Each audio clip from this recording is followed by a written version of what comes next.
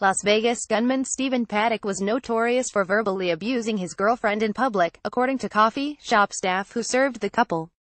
The 64-year-old, an avid gambler, was described as rude and mean by baristas at a casino Starbucks he would often visit with partner Marilou Danley in their hometown of Mesquite, Nevada. Filipino Ms. Danley, 62, was holidaying in her home country when Paddock killed at least 59 people and injured 527 by shooting at crowds at a country music festival on the Las Vegas Strip.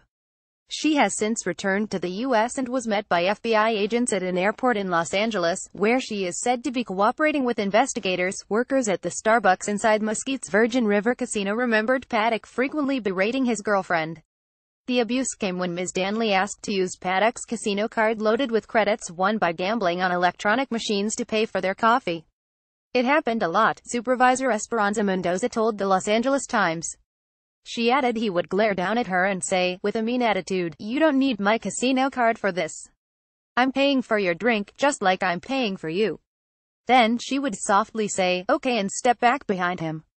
He was so rude to her in front of us. The couple always placed the same order, with Paddock drinking a large mocha cappuccino and Ms. Danley a medium caramel macchiato. She stood only elbow high to her partner, said staff. He looked like he never slept because of the large bags under his eyes, added Ms. Mendoza. Another barista described Paddock as quiet and in his own world.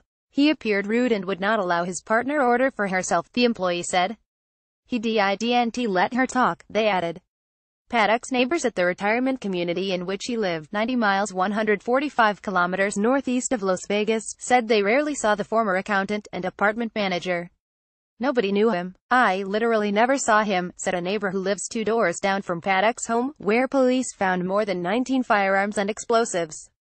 Another 23 guns were found in his 32ND floor room at the Mandalay Bay Hotel, from which he sprayed bullets at crowds at the Route 91 Harvest Festival. The house was so quiet, we thought they were snowbirds, the neighbor added, referring to retirees who spent the winter months in warm weather places such as Mesquite. Paddock's bins were put out on the street before anyone else was even awake, leaving no opportunity for casual chats with neighbors living just feet away. Yard work was done by gardeners and Paddock is not thought to have taken part in any of the social activities, such as bingo, provided by the retirement community. As media descended on the area following the shooting, neighbors immediately next to Paddock's mustard-colored stucco home displayed a sign on their door we did not know him. Paddock seemed more sociable to those who delivered him pizza from Domino's 14 times in recent months. Described as a good tipper, Paddock paid cash and always ordered the same thing two medium mushroom pizzas with extra cheese. Sometimes he would tell the delivery person he was trying to lose weight and the pizza was only for his companion. Domino's employee Jesse Givens recalled Paddock would joke to her it's not fair, she gets to eat pizza and I don't.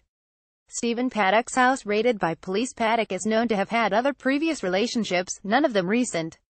Court records show he married in 1977 and was divorced three years later in 1980 in Los Angeles County. Five years later he married again, before separating from his wife in 1989 and divorcing in 1990. In both cases, court papers cited irreconcilable differences. Police scrambling to identify a motive for the worst mass shooting in recent U.S. history hope Ms. Danley will be able to provide clues. Officers piecing together details of Paddock's life have focused on financial transactions, including $100,000 £755,000 wired to the Philippines last week. A senior U.S. Homeland Security official told Reuters on Tuesday that investigators were working on the assumption the money was intended as a form of life insurance payment. The official said U.S. authorities were eager to question Ms. Danley about whether Paddock encouraged her to leave the United States before going on his rampage. Ms. Danley arrived in Manila on the 15th of September, more than two weeks before the mass shooting in Las Vegas, then flew to Hong Kong on the 22nd of September and returned in Manila on the 25th of September. Reuse content